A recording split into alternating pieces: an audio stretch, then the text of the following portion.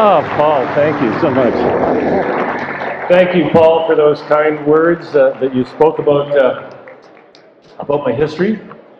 Uh, Paul was last year's Lifetime Achievement Award winner, and I'll tell you, that's a lifetime of music. I want to, I really want to thank the Forest City London Music Hall of Fame for this Lifetime Achievement Award, and as Larry Mercer said tonight, it's nice to receive it when you're alive, not posthumously. And uh, so thank you for that. Uh, the organization is, uh, is tremendous uh, in promoting live music. That's what I did. That's what I tried to do. Uh, it was my passion, my joy. I can't believe it's 50 years ago already.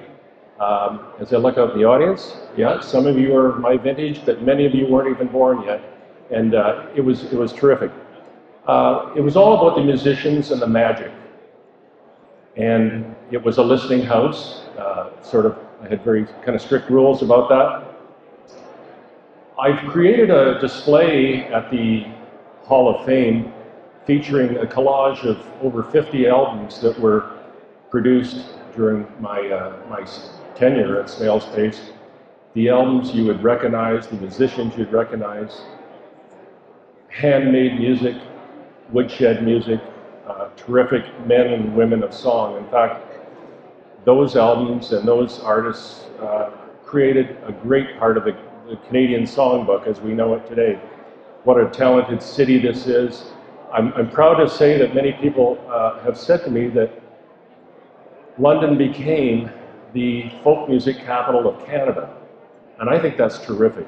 If I had any part of that, I'm, I'm very proud of it. Um, over the past two days, I've experienced live music and, and the camaraderie that's been presented here through the awards and through Music Week.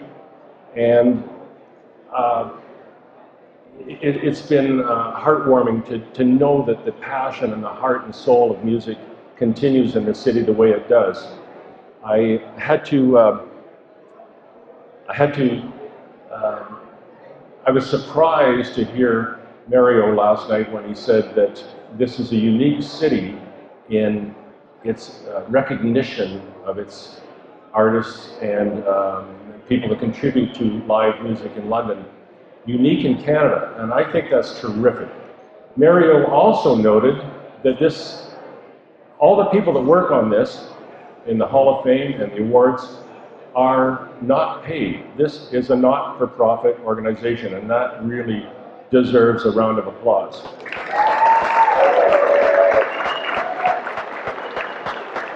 So I would like, I, I, would like to say with my tongue firmly planted in my cheek that I was also a kind of a non-profit organization.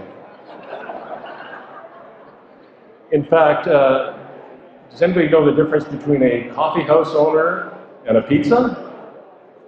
Well, a pizza can feed a family of four. And I, I, all joking aside, it wasn't about the money, it was about uh, my passion for presenting live music.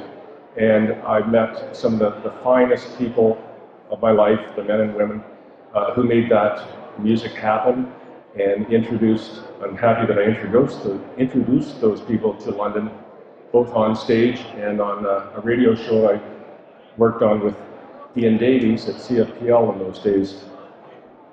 Um,